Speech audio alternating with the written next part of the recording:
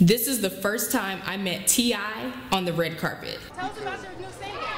The new single is it's awesome. It's like that. You know what I'm saying? Y'all, if you love this life, go to iTunes and download Love This Life. You know, you love, you know you love this. You you know you love this life. Don't nobody do you Yeah, like me. yeah, You know, You you know you love this life. Tell the truth. Don't nobody. Hi, Sandra Rose. I'm Jasmine Adams. I am an Atlanta native from Stone Mountain to be exact. And most importantly, I am a red carpet host. It is my aspiration, my lifestyle, and my love.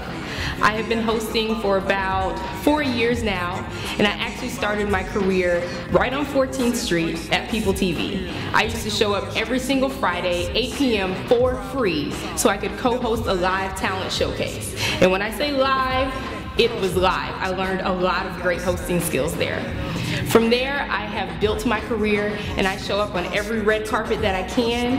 I am in the Hollywood of the South and I love every moment of it. Some of the notable red carpet interviews I've done include Steve Harvey, Regina Hall, Michael Ealy, Jasmine Guy, and RL from Next. Check out my reel. Um, so music. Tell Yeah. me about the book signing that you had at the Green Room this past Saturday for your new book. How did it Oh, go? That was really, really cool. Shouts out to Terry Vaughn in the green room. Uh, shouts out to Argus Milton and, and the whole Dip Pub, uh, Dip Publishing uh, organization. Uh, my book, 143 Love According to Music, is my first book. I'm really excited about it. now, is this a hat from your own hat line? This is from my hat line. All this right. is a Francis Salargo original, yes. Interesting. Okay, now uh, tell us about the shoes that go with it as well. Uh, well, they said red and black, so I figured as opposed to doing something traditional, I decided to go a little, go against the grain a little bit. So the shoes match the hat, and you know the rest is pretty self-explanatory. We love it. What do you think about Atlanta becoming the next Hollywood? Oh, it's already happening. I think we're in the process. The city's transforming all the time. We've crossed the billion dollar mark in the film and entertainment business, and it's only going to get better and better.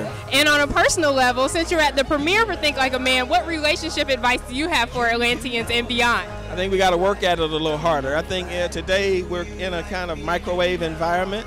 Now, I am a fan. I was in eighth grade in 1998. So when I say generations are loving you, tell us about. I just turned 35 yesterday. Oh, Yesterday, so oh, happy belated birthday! Now, tell us what what projects do you have going on right now? Your fans always want to support and you know what's going on next. well, I've written for J. Holiday, Usher, Lloyd, Luther. I just had the new um, Mindless Behavior record out. I'm working on a new solo project as well as the original three members of Next. Perfect. What's the name of your new um, solo project and the release track? Mine will be called Minnesota Nights, and the, the album for Next is called Music 101. This is how we take these youngins back to school, so you ready? Sandra Rose, you gotta pick me. Jasmine Adams, red carpet host extraordinaire. I will bring you all the juicy gossip, all the best action on the red carpet. Remember me, and I'll see you on the red carpet.